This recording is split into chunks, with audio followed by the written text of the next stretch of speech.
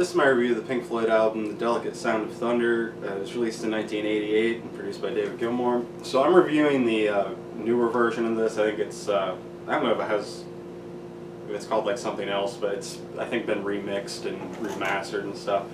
Uh, the, so like this, this album, this is the only version of it I have. I never got the original version just because, uh, well, mainly I heard it wasn't very good through just reading reviews, and um, also I just I was never that interested in it because one I had um, I had the Pulse DVD already, so I already had something of the kind of three uh, three person Dave Gilmour led Pink Floyd live.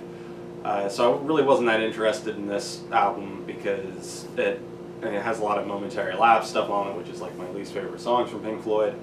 So I just never got the other version. I listened to a little bit of it tonight, um, and I do think that this version sounds a lot better than what the original version did. It sounds like they kind of did some work on this and fixed a few things here and there um, for this remixing or whatever. Not sure exactly, but there's definitely there was definitely some points where I could hear it sounded like Gilmour go a little bit like off in his singing in the original version that I didn't notice on this version. So. Um, but this one, as it is, sounds pretty good. Uh, it's pretty decent, like live show. I don't think. Um, well, I guess the thing I was going to rant about in the Pink Floyd albums was that until recently they didn't have a lot of uh, live stuff that they had released before this, you know, three-person Rogerless Floyd. Uh, they just uh, put a bunch of stuff out on streaming platforms though, like Dark Side Live and things like that. So it's not really a problem anymore, but they I don't think you can buy them like this, which I, I wish you could. But um, so yeah, I don't. Uh, just not not really like an album that I had a lot of interest in getting originally. But listening to it, it's not that bad. Um, I'm gonna read through the track listing really quick and just kind of comment on them if I can think of anything. Uh, so they do "Shine on You Crazy Diamond." They do like the whole thing. I think that's kind of the highlight of the album. It opens it, and uh, then they go into Signs of Life, which also I think um, this version has some songs on it that weren't on the original. I'm not really sure which those are, other than I think this one wasn't on here because I remember that from uh, when I was looking at the track listing briefly when I was listening to some of it, the other one on Spotify earlier. Uh, anyway, Signs of Life is you know is what it is. Then they do Learning to Fly. That's also kind of a minor highlight for me. Uh, yet another movie, Round and Round, uh, New Machine Part 1, Terminal Frost, A New Machine Part 2, Sorrow, Dogs of War, On the Turning Away, and that's the first disc. I think that, I don't know, some of these songs, they sound a little bit better live than they did in the studio album, but there's still songs that just aren't that great. Uh, the second disc starts with One of These Days, which is cool.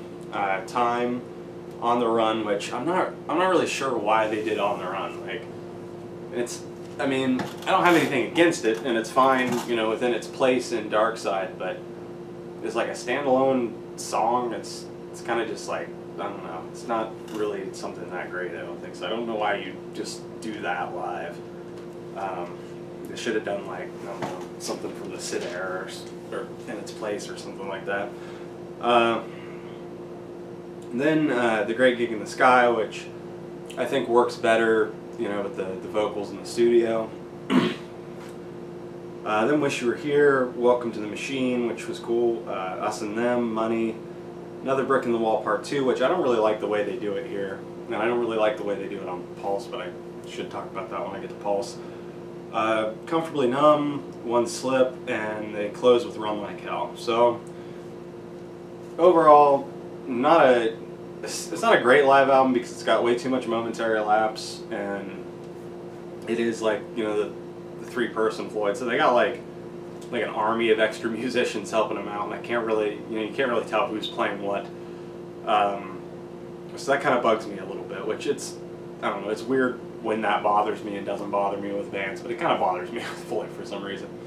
Uh, and I don't know. Other than that, I think that this version, like if you're interested in a live album from around this time and you like Momentary Lapse, then this would be a good album for you. But uh, I don't know the the original version of it. I think that this is a pretty big improvement over from what I listened to, which you know wasn't the whole album, but this definitely sounds a lot better than that one. So, Delicate Sound of Thunder, um, probably not an essential live Floyd album, but if you really really want to check it out,